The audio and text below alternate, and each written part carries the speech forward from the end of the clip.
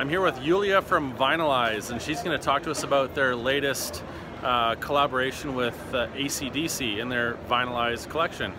So basically what happened, uh, you probably guys remember like four years ago we had the Pink Floyd glasses.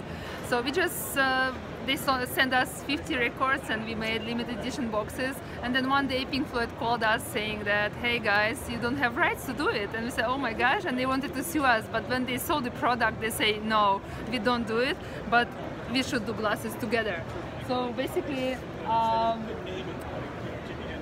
the Pink Floyd. And then when we came to agreement, they say no, Pink Floyd didn't want it to put their logo, our logo on the glasses, but they say ACD, ACDC would be very much interested to do it.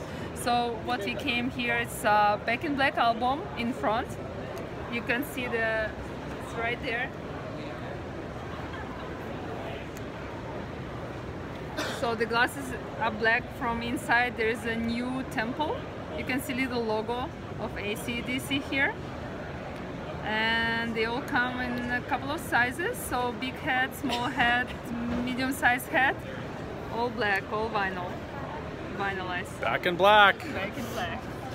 Come see him at SPEX by ryan